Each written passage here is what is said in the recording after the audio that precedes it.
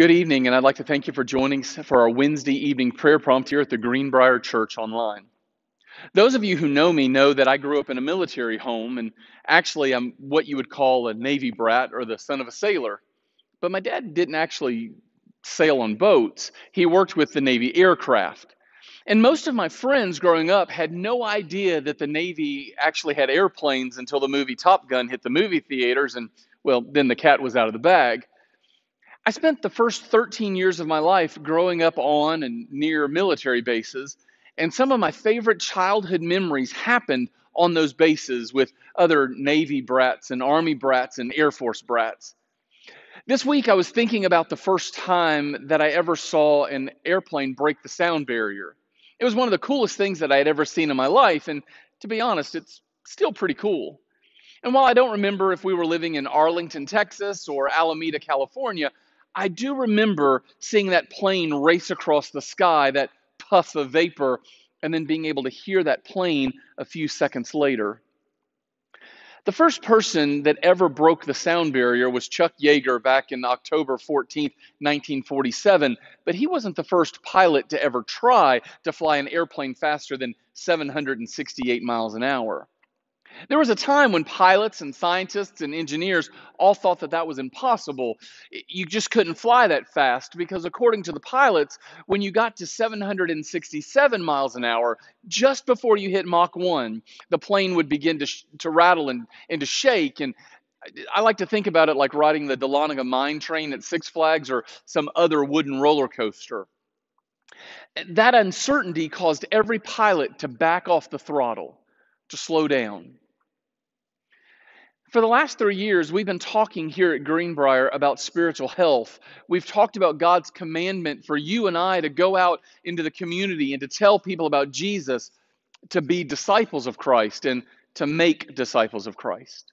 For the last three years, we here at Greenbrier have talked about how we're being called to model love in the model city of Anniston. And I wonder if we treat that call to evangelize and to love our community kind of like those early pilots treated breaking the sound barrier. Honestly, it's scary to tell people about Jesus because our culture likes to fight about religion. We're often afraid to love our neighbor because every time we open ourselves up to someone else, they hurt us or abuse us or use us.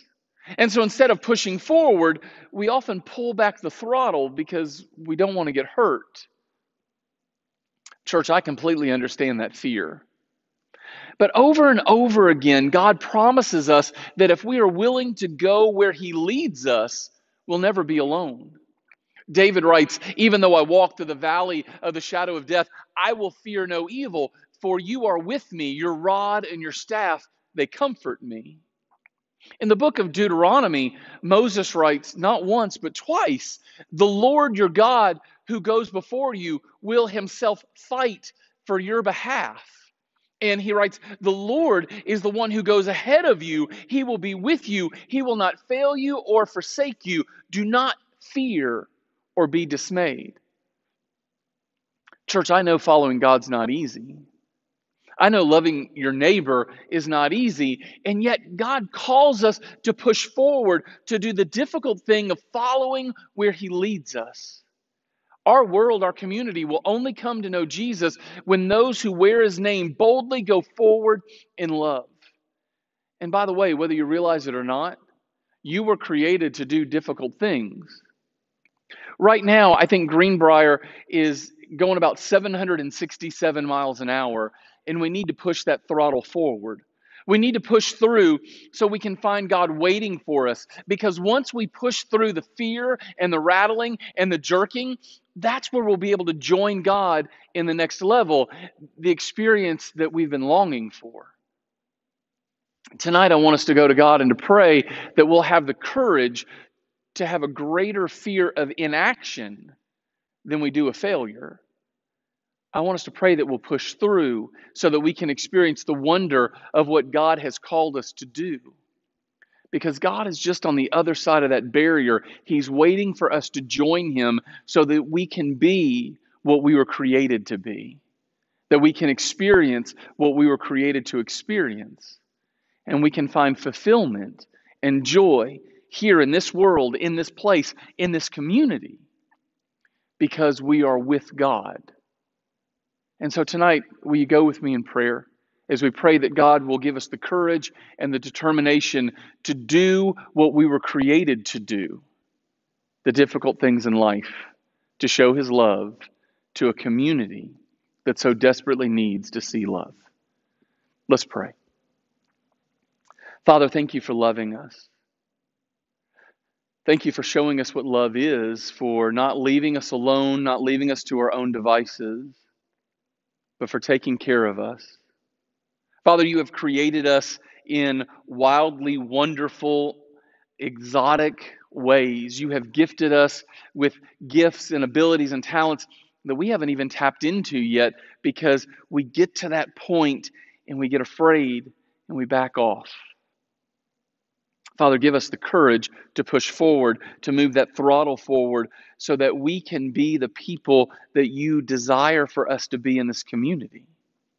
We will be people that are quick to love, quick to forgive, quick to accept, quick to invite people to come and to know you, not to have a religion, but to have the relationship that you have called us to have. Father, I pray in everything you will be glorified through the members of this church body and through the church body universal. That we will break all of the barriers in love and in compassion and in grace and in mercy so that your kingdom will break through once again in this world. Father, fill us with your courage. Take fear far away from us so that you will be glorified. And we ask this prayer through the name of Jesus Christ, our Lord and Savior. Amen. Church, I hope that you know that you're loved, that I long for the time that all of this pandemic will be over, that we can be back together. But until then, I pray that you will go in courage and go in peace. Have a great night.